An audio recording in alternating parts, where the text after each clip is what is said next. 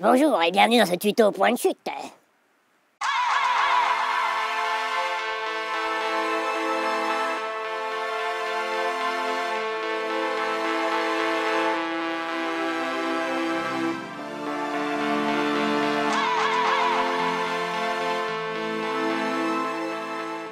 Bonjour et bienvenue dans le premier chapitre des tutos sur la descente en rappel en escalade. Oui, on a bien dit en escalade. Parce que si tu t'amuses à apprendre ce qu'on va dire dans cette vidéo et que tu m'installes un rappel en double en canyon, ça Dans ces tutos, seuls les aspects manip de corde et sécurité seront traités. Tout ce qui va concerner la motricité de la descente en rappel, c'est-à-dire la position du corps, le rythme, la trajectoire, etc., seront traités sur le terrain pendant les stages. Dans ce chapitre 1, nous allons voir quelques points de vigilance sur les accès au relais, comment on va installer la corde pour le rappel, et bien sûr comment installer son système de descente en rappel. Hmm. Alors, dans quel cas va-t-on avoir besoin de descendre en rappel en escalade? Bah, le grand classique, c'est en grande voie, j'ai grimpé mes 3 km de falaise, et une fois tout en haut, ben faut que je redescende pour le goûter. Ou alors c'est l'inverse, il y a des sites comme dans le Verdon où il faudra d'abord tout descendre en rappel pour ensuite tout grimper et sortir par le haut. Et enfin, on utilise la descente en rappel pour les réchappes, les secours ou pour le fun. Pour les manips de ce tuto, on va utiliser le matériel qu'on a normalement sur nous en grande voie. Casque, harnais, corde, mousqueton, ficelle sangle, poulet en plastique.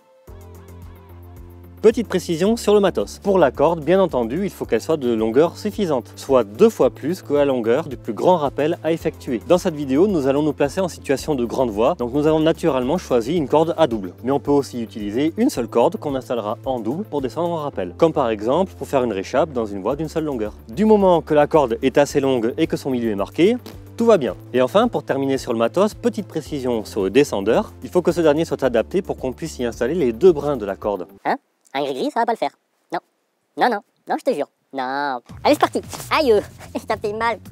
Dans un premier temps, on va faire un petit point sur les accès au relais. Bon alors, avant de se lancer tête baissée sur le relais et envoyer du rappel, on voudrait inciter sur un paramètre qui est bien trop souvent négligé, protéger l'accès au relais. Autrement dit, comment accéder en sécurité au relais Et oui, comme on l'a dit plus tôt, en général, descendre en rappel, ça se fait en grande voie. Et bien souvent, on va avoir ce qu'on appelle une ligne de rappel qui permet de redescendre sans gêner les cordées qui sont dans la voie. Et là, on va avoir deux possibilités d'accès à ces lignes de rappel, soit j'arrive du bas, soit j'arrive du haut. Si j'arrive du bas et que je dois redescendre dans la même ligne pour rentrer, bon ben là, je suis déjà au relais, ça devrait le faire. En revanche, si j'arrive du haut, c'est notre cas dans cette vidéo, c'est-à-dire qu'on a fini la grimpette en sortant au niveau d'une grosse vire ou tout en haut de la falaise, et l'accès au relais de la ligne de rappel se fait via un chemin, ou pas. Et là, euh, voilà, euh, genre de truc qui peut nous passer par la tête.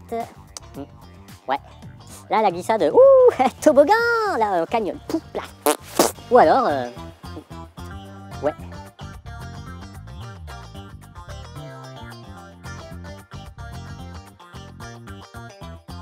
Oula. Eh. Oh, Bah oui, les relais en général, ils sont plutôt placés proches du vide. tu sais le truc où quand t'es dedans, bah tu tombes? Et bien qu'il y ait parfois un petit chemin qui va jusqu'au relais, ça ne veut pas dire que l'accès n'est pas exposé et sans danger. Bah, surtout qu'en général on fait ça après la grimpe, donc en fin de journée, la nuit va pas tarder, on a plein de. Et on veut pas arriver à la bourre pour le cours de poney. En bref, le niveau de vigilance n'est pas tip top la carotte. Donc si en plus on met pas toutes les chances de notre côté et qu'on va s'exposer sur des chemins en bord de falaise et qu'on risquerait de glisser sur une peau de banane, et ben là du coup c'est quand même pas cool parce qu'on s'est quand même fait chier à grimper ces putains de 10 longueurs. Si c'est pour finir comme ça sans se taper le rappel funky groovy de la fin de journée, et ben merde, merde. Bon ok, mais on fait quoi du coup? Pour sécuriser l'accès à mon départ de rappel, je peux par exemple installer une main courante si l'accès est plutôt horizontal. Et sur la main courante, tout le monde va se longer correctement, hein, pas juste avec les mains. Eh non, les mains ne sont pas des EPI. Je peux aussi installer un petit rappel si c'est plutôt vertical. Bref, référez-vous au tuto Canyon sur les mains courantes. Euh, quand on l'aura fini. Seconde partie, l'arrivée au relais. Alors, quand j'arrive à un relais, de manière générale, le bon réflexe, c'est de prendre 30 secondes pour analyser l'équipement qui est en place. Et ainsi déterminer la meilleure manière de me sécuriser et sécuriser ma cordée. Et si le relais n'est pas relié, eh ben c'est parti pour une petite triangulation et on se longe dans le mousqueton primaire placé en bas de triangulation. Troisième partie, comment installer la corde pour descendre en rappel.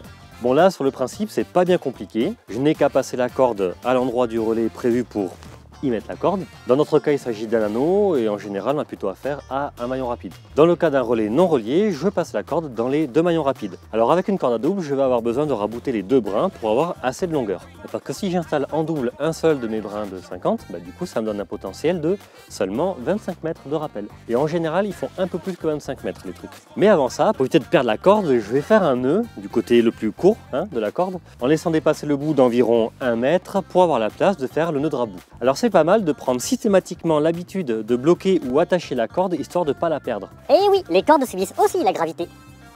Enfin, faut vérifier, mais je crois que oui, hein, normalement. Ensuite, je vais mettre le bout de chacune de mes cordes l'un contre l'autre et je fais un nœud de 8 de plein point avec les deux brins. C'est le raboutage de la corde, oui Alors pour un beau raboutage, il faut un nœud de 8 bien réalisé et avec soin. Il faut que le nœud soit bien serré en tirant sur chaque brin. Et il faut laisser dépasser les bouts de corde d'au moins 30 cm.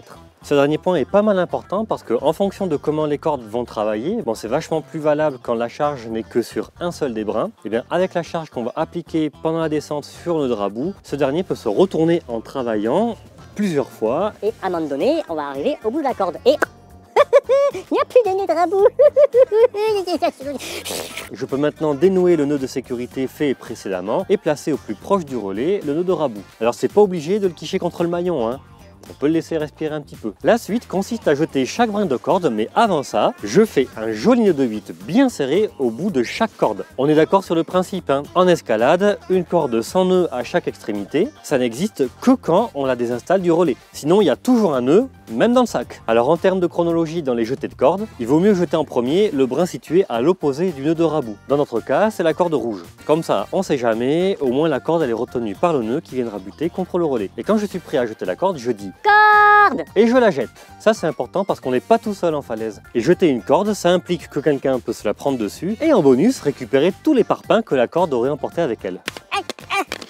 Euh, crier corde, ça empêche pas les parpaings de tomber, hein. Ça sert juste à prévenir les autres cordés. Enfin, je fais tout pareil pour le second brin. Nœud en bout de corde, communication et jetage. Petit focus sur le jeté de corde. Alors, pour un beau jeté de corde, il vaut mieux la lever en oreille de cocker avec de belles boucles bien faites quand on la prépare. Ça évite ce qu'on appelle le tas de pu.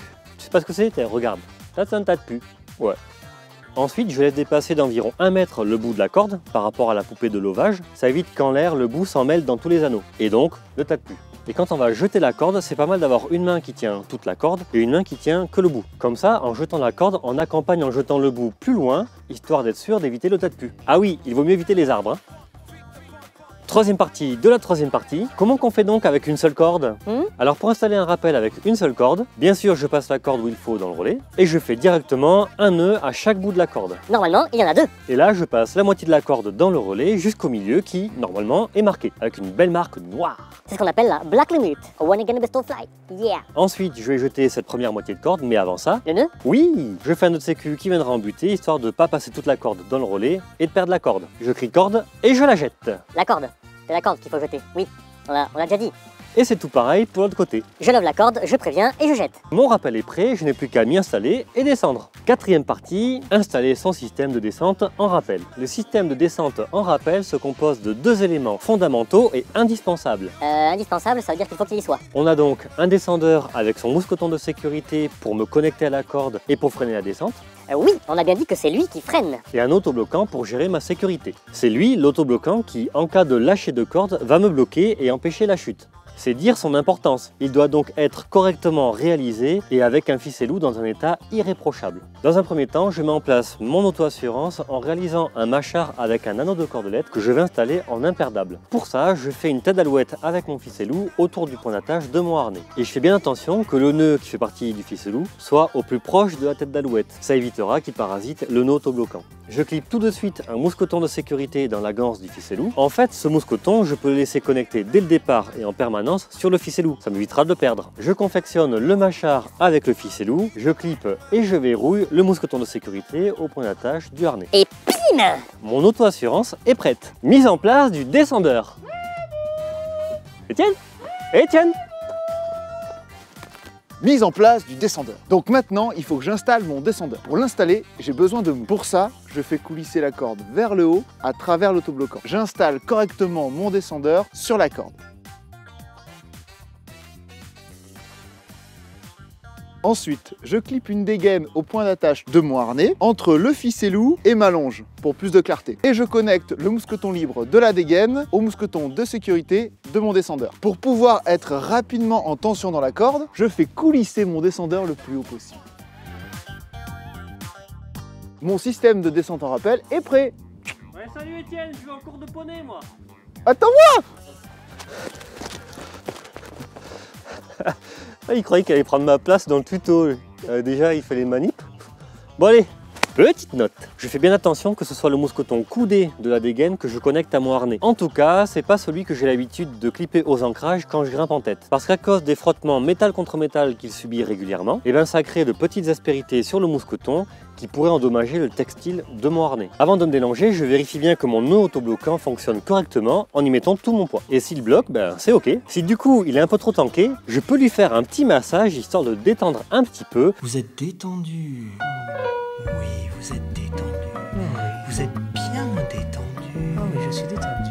Et de ne pas trop avoir à forcer pendant la descente. Oh, tu es détendu. Oh, je me détends. Oui, détends-toi, détends-toi. Hein? Tu relis pas le descendeur avec un mousqueton à vis, toi Mais t'es un ouf Alors pour rappel, le descendeur ne gère que le freinage de ma descente. La sécurité, elle, est assurée par le nœud autobloquant. Donc ici, on se permet d'utiliser une simple dégaine pour se relier au descendeur. Mais tu peux aussi te servir d'un mousqueton avec un anneau de sangle, pas trop grand histoire de toujours pouvoir atteindre le descendeur. Tu peux aussi utiliser une longe à la guidos. Tu sais, c'est une longe normale avec un nœud genre papillon en plein milieu. Ou mieux encore, tu peux utiliser une longe double. Si tout est ok, je peux me délonger et descendre en rappel en tenant d'une main la corde située en dessous du ficellou. Et avec l'autre main, je fais coulisser l'autobloquant sur la corde. Alors la main située côté nœud autobloquant peut aussi et tout bêtement tenir la corde juste au-dessus du nœud. Et de cette manière, c'est ma main en coulissant le long de la corde qui accompagnera le nœud autobloquant. En gros, je me retrouve avec mes mains qui tiennent uniquement la corde de part et d'autre de l'autobloquant sans forcément me soucier de ce dernier. Ça c'est intéressant pour les débutants, comme ça ça évitera d'être trop crispy sur le nœud autobloquant et de peut-être l'empêcher de bloquer en cas de besoin. Bon, bon, bon, voilà, voilà, voilà, voilà. Dans le chapitre suivant, nous verrons ensemble l'enchaînement des relais en grande voie. Nous ferons un focus sur quelques points de vigilance de la descente en rappel et on conclura avec un petit instant grimpe bio. Merci d'avoir regardé cette vidéo point de chute. Bonne grimpe ou bon canyon. Mais non, on t'a dit que ce tuto, il est pas pour le canyon, bordel Voilà Oui, d'accord, d'accord Et rendez-vous dans un prochain tutoriel. Les tutoriels point de chute sont conçus et réalisés par des professionnels de la profession de l'escalade et du canyonisme. Oui, oui, oui Le Krebs Auvergne-Rhône-Alpes de Vallon-Pont-d'Arc et Point de Chute sont partenaires sur la conception des tutoriels. Dans ce tuto, vous avez entendu des titres musicaux inventés, interprétés et joués par des artistes musiciens qui jouent de la mandoline, mandoline, mandoline, mandoline.